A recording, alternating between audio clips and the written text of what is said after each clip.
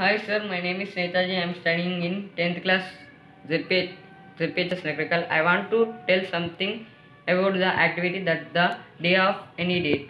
So let's start. And firstly, you have to select the date and year and the month. First, I have selected the date and the month and the year. First, you have to write the same thing, the date 20 and the month you have to i have a something codes about the month.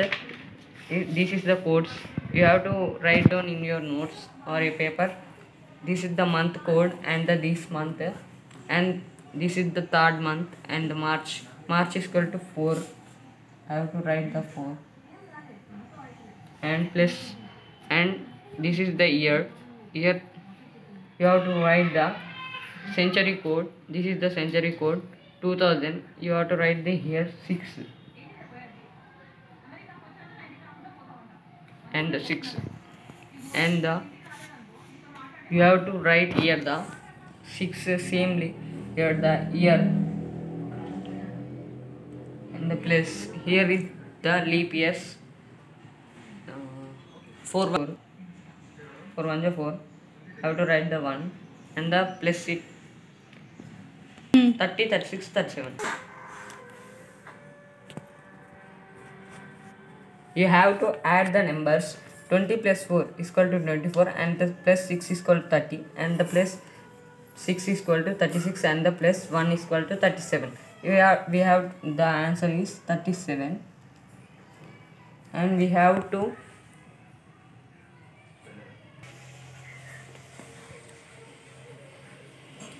and we have to divide it 37 we have to divide with 7 because the days are 7 only. We have to divide with 7 37 and the 7 5 ja. 35 and the remainder is 2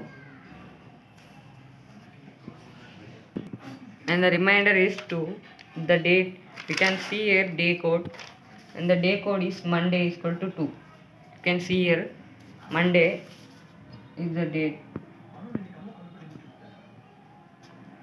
This is the correct answer you have to hmm. so you can check in the calendar or a google. Thank, thank you for giving this opportunity. Thank you sir